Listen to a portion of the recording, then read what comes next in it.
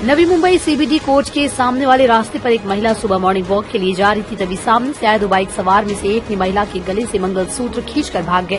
ये सारी घटना सीसीटीवी में कैद हो गई। सीबीडी पुलिस सीसीटीवी के आधार पर चोरों को तलाश कर रही है। मंगलसूत्र की कीमत एक लाख रुपये ऐसी जानकारी मिली है।